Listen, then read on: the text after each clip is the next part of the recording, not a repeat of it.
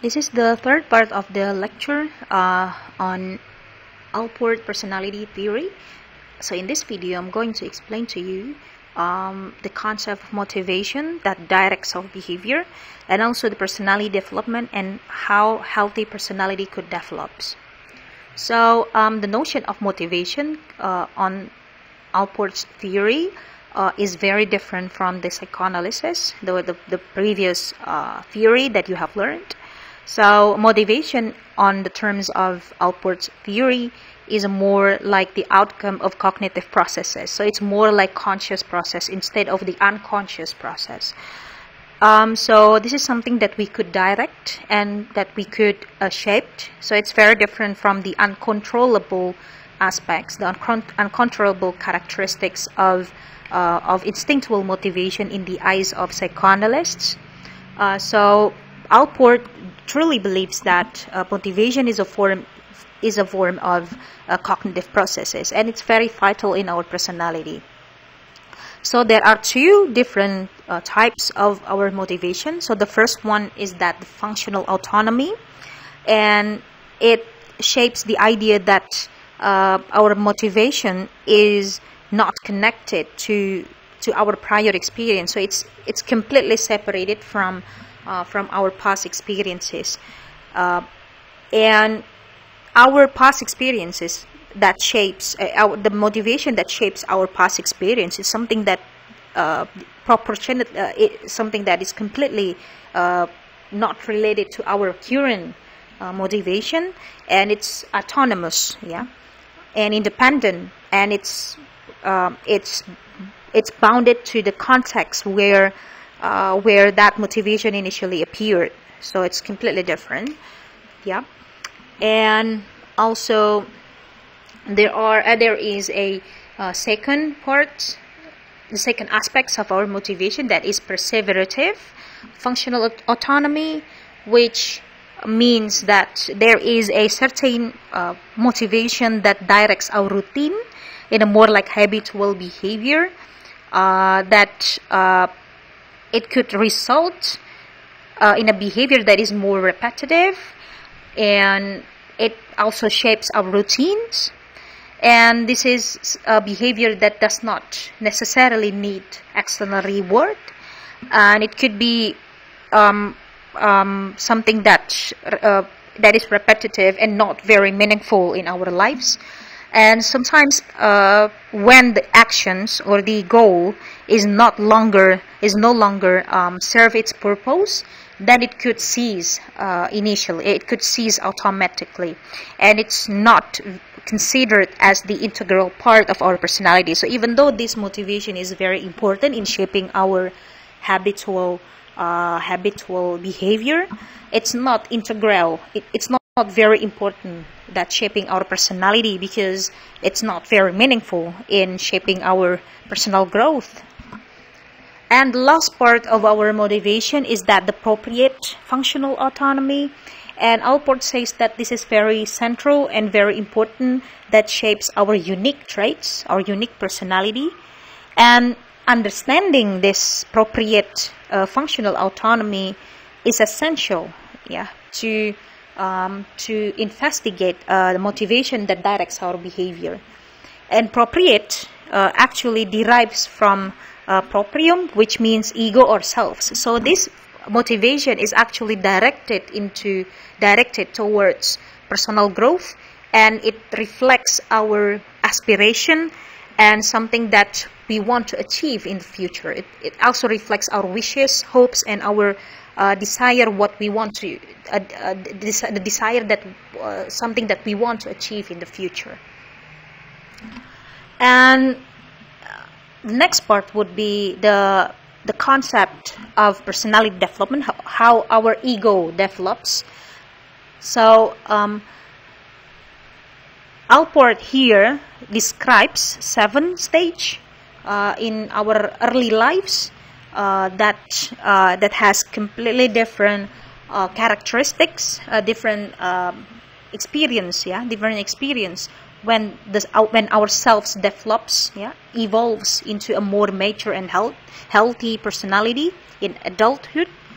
Uh, so the first stage would be the bodily selves. This is where we uh, try to when we uh, when we are aware that our physical entity is separated from other people and we are becoming aware that our existence is separated from other people and we could differentiate our bodily experience our uh, physical entity to other people physical entity. So this is um, this is um, process this process happens especially when we when we are when, when we were in infant and the second uh, stage would be the self identity uh, this is where uh, we we start to realize that our identity um, is is intact is stable even though our physical uh, our physical appearances evolves over time. So this is where we know that we are an independent, autonomous, but stable, even though we are distinct from other people. So this is sometimes uh, we aware that we that our body, that our physical appearances could change, but what makes us unique, our personality, is stable. Is actually stable. And the third part would be the self-esteem stage. This is where the children recognize others people uh, praise and recognition to their uh, to their achievements. And the fourth stage would be uh, we try to uh, recognize the objects that uh, and other people are the part of their own world. So this is where children uh, knows that that other people also has their own privacy. So they they try to not not um, disturb other people's privacy. And the fifth stage would be um, the self-image stage. This is where the children try to um, try to uh, hold an idea of the ideal self-image. This is where they try to internalize their parents' expectation towards themselves. And this is where they try to fulfill this uh, expectation and where they uh, sometimes uh, aware that sometimes they could fail to reach this expectation. And the sixth stage would be uh, this is where the children try to apply reason and logic, and this is during the early uh, early stage of school. And they try to do they try to use reason and logic uh, to uh, to as a solution to their problems and the seventh seventh stage would be uh, a process that happens during your uh, during your uh, teenager teenage years this is where try, uh, this is where young people uh, formulate their plans, their long-term plans. So they build their aspiration towards a more uh, more distant future.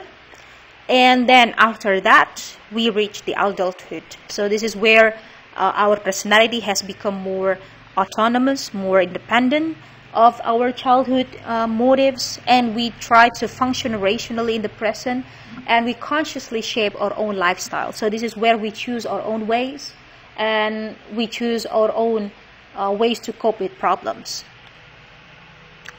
And the last part of this lecture, the last part of this section would be the explanation of healthy adult personality. So what is actually a healthy personality according to Allport is that uh, there are two uh, characteristics uh, that uh, that basically um, uh, indicates a healthy personality. So the first one would be a healthy personality could change and grows. Yeah. So being a stable uh, personality tend to be stable, but in order to adjust with your life challenge and also your to, in, in order to cope with your problems, we need a degree of flexibility.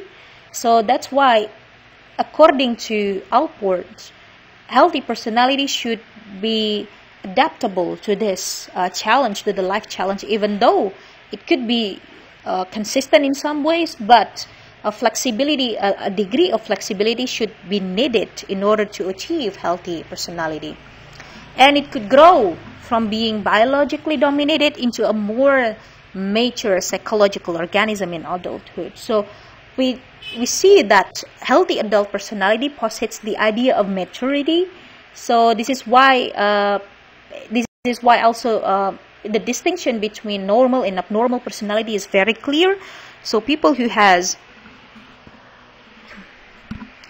people who has a more healthy personality, healthier personality, would be characterized by a more mature and adult, mature, uh, maturely grown, uh, maturely growth individual. So people who has problems with their psychological condition would be more characterized by their infantile or more childish way to cope with problems. And the second characteristic that uh, that indicates a healthy adult personality is that the motivation, our motivation to be to thrive in life, it is more independent than our past. So we don't bear our past as a burden to our motivation. Instead, we become more separated. So we kind of like living in the moment uh, stance of, of, of, of, of driving and directing our behavior. So we do, uh, we count our present times and also as our aspiration to the future as more important than our past experiences. So this is the uh, the end of the of the third section of this lecture.